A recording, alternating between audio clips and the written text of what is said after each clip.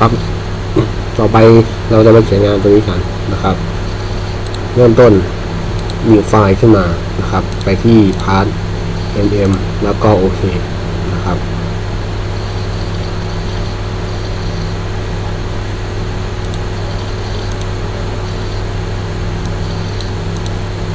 ขั้นแรกนะครับ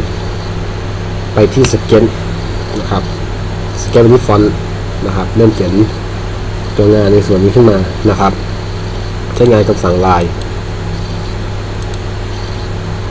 นะครับ เลือกคำสั่ง Dynamic Roller Smart Dimension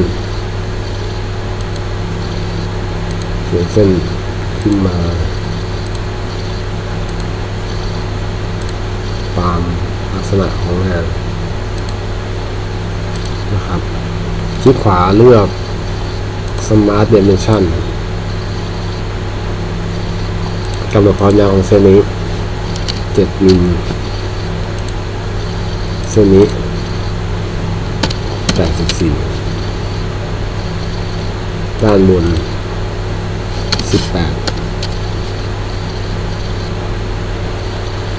นะครับ ต่อไปกำหนดความยาวของเส้นนี้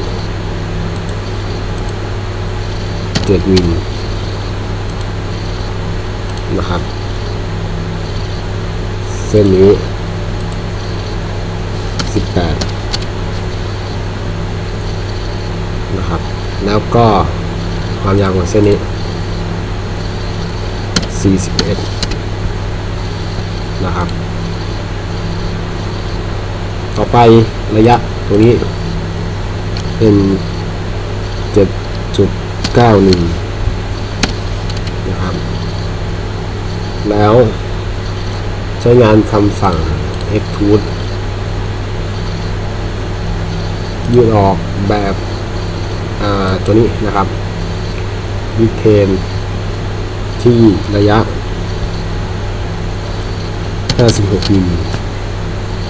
โอเคนะครับ ต่อไปไปที่ Right Plane Sketch นะครับ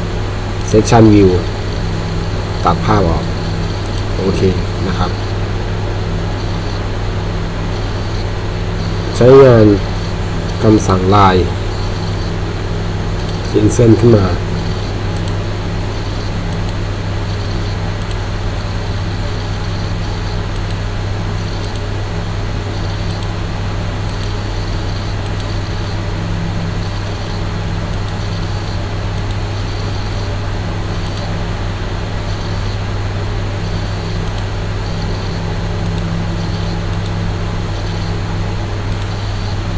อย่างนี้นะครับคลิกขวาเลือก select นะครับ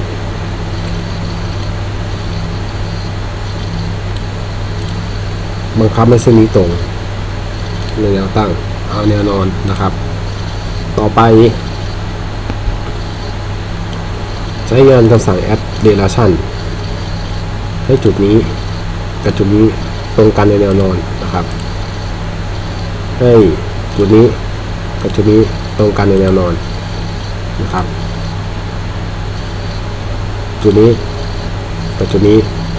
ตรงกันในแนวนอนนะครับ ต่อไปไปที่ Smart Dimension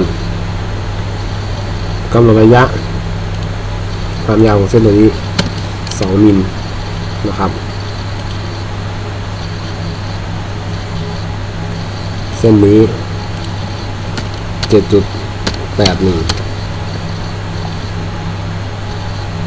ตัวนี้หกจุดหกเก้าเส้นนี้ยี่สาม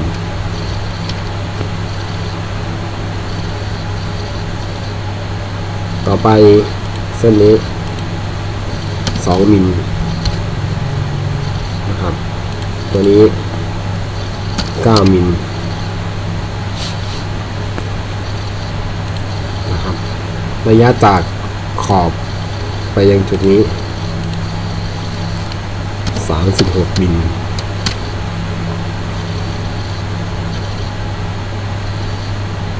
ระยะจากขอบ ไปยังเส้นนี้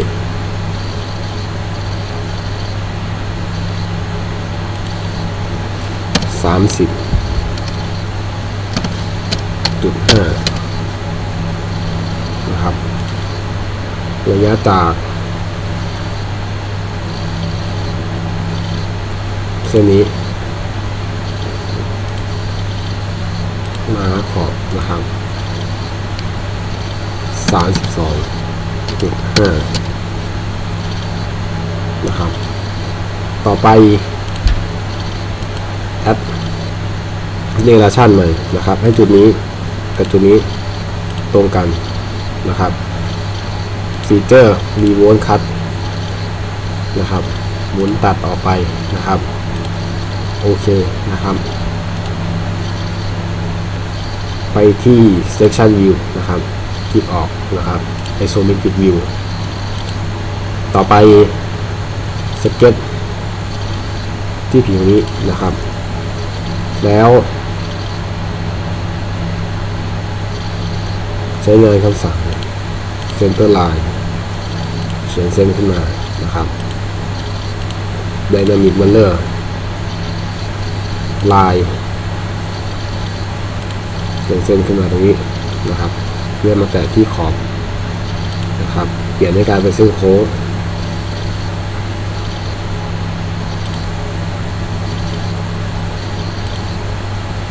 อย่างนี้นะครับ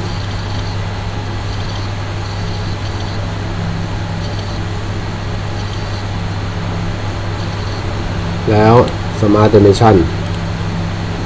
กำหนดระยะ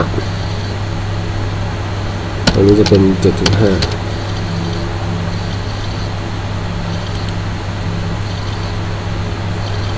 นะครับคลิกขวาเลือก Smart Dimension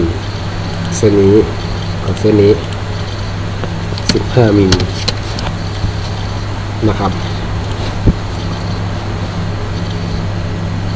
ต่อไปไปที่คำสั่ง Extrude Cut นะครับ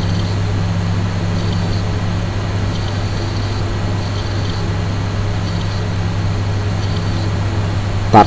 ลงไปด้านล่าง 4.5 นะครับ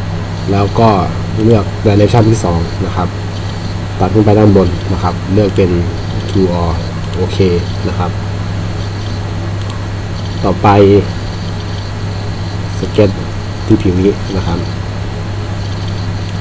Centerline เขียนเส้นตรงขึ้นมานะครับ Dynamic เลือกใช้งานคำสั่ง Circle นะครับเลื่อนมามาแตะที่ขอบเขียนวงกลมขึ้นมาหนึ่งวงคลิกขวาเลือก Smart Dimension กำหนดความโตของวงกลม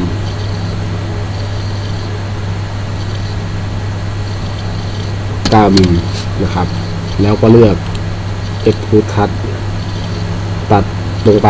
ในลักษณะของ t o o โอเคนะครับ ต่อไปไปที่ Light Pane Mirror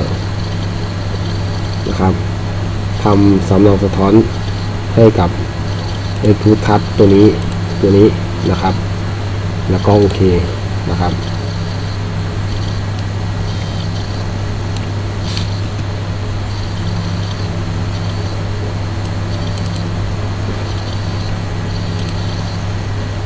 ต่อไปทำการใส่สีนะครับจะเลือกไปที่โลกอดนะครับ แล้วใช้สีเขียวตัวนี้นะครับ ต่อไป